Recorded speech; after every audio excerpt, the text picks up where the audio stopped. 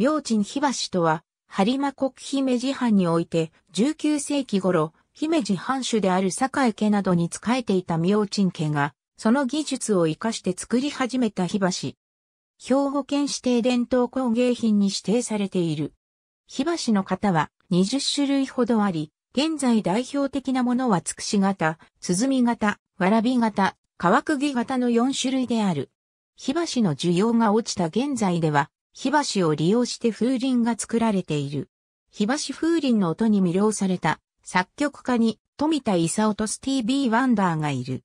二人ともこの音を楽曲に取り入れようとしていたが、アナログ録音ではそれが不可能であったため、一旦は使用を諦めていたという。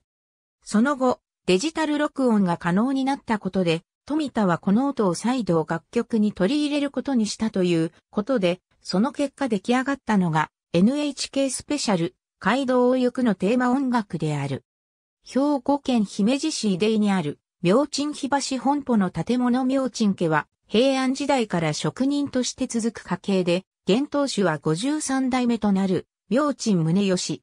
元は、甲冑氏の一族で、12世紀半ばに、この絵天皇に、鎧と靴輪を献上し、天皇より、類稀なる珍奇と称賛されて、明珍の名を賜ったとされる。江戸時代に、幕府大老堺家のお抱え甲冑氏となり、堺家の天保に従い、姫路に定住した。ありがとうございます。